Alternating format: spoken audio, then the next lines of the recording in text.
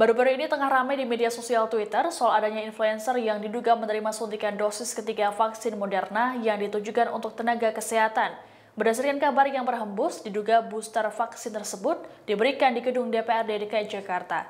Menanggapi hal ini, pihak DPRD DKI Jakarta membantahnya dan memastikan tak ada pemberian booster pada masyarakat.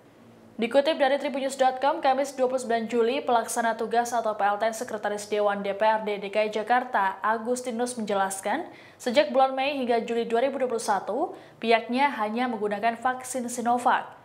Vaksin tersebut didistribusikan oleh Dinas Kesehatan DKI. Pemberian dosis ketiga vaksin dengan jenis Moderna diketahui hanya untuk para nakes.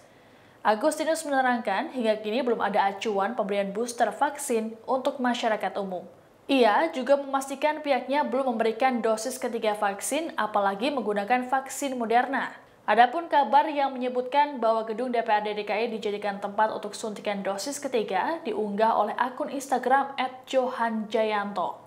Unggahan tersebut kemudian diunggah kembali di media sosial Twitter dan menjadi perbincangan warganet. Meski begitu, akun tersebut tidak menyebutkan nama atau sosok influencer yang diduga menerima dosis ketiga.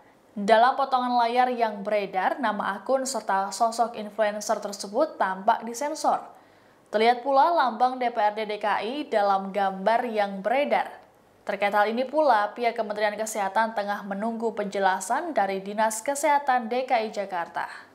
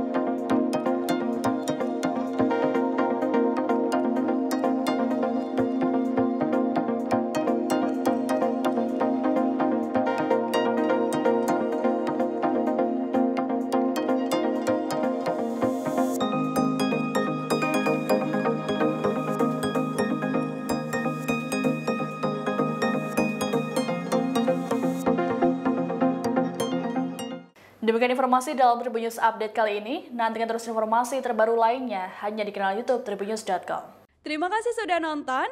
Jangan lupa like, subscribe, dan share ya.